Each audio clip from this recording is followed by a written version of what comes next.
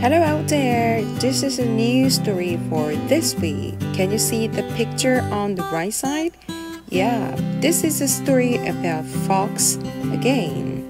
The title is The Fox and Grapes. Let's jump into the story and let's listen.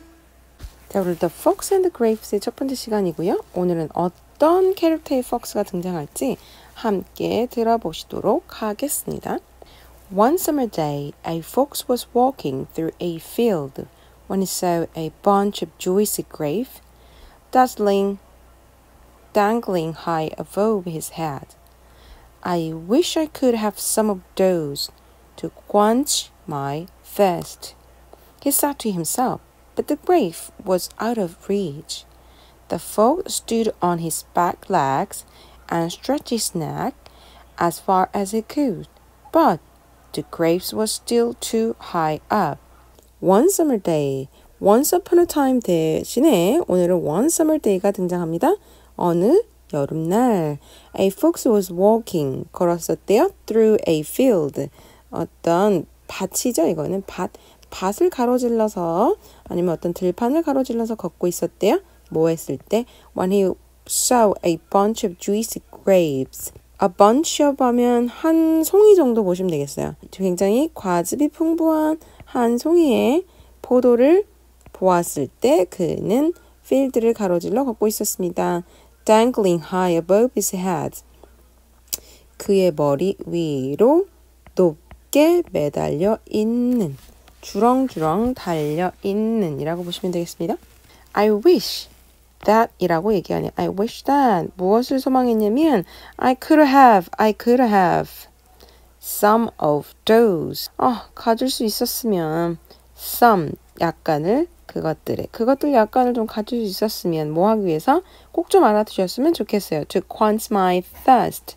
갈증을 풀다, 해소하다. 물 마실 때 이런 표현 그대로 활용하시면 좋겠어요. Could you give me water to quench my thirst? thirsty가 아니죠? thirst, 갈증이라는 명사를 보시면 되겠어요. He said to himself, 어, 혼잣말을 했대요. But the grape was out of reach. out of reach. 여기서 out of his reach 해도 좋겠어요? 닿다죠, 닿다. 닿는 것 밖에 있었다? 아, 손에 닿지 않았다라고 보기면 되겠어요.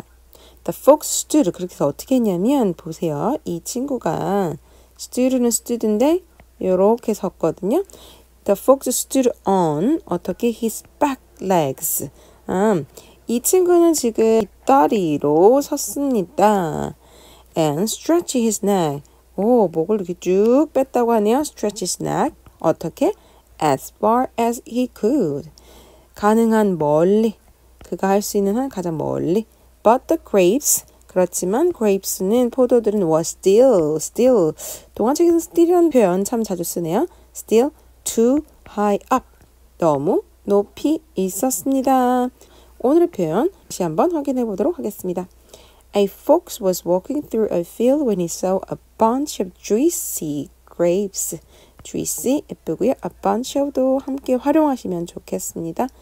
dangling, dangle, dangle, dangle 뭔가 매달리는 거죠. dangling high, dangling high 그래서 grape를 수식하고 있네요. above his head 그 머리 위로 I wish that I could have I wish I could have I could I wish I could have 좀 활용해 주시면 좋겠고요. some of those some of those quench my thirst 오늘은 이 표현 하나만 갖고 가셔도 좋을 것 같아요.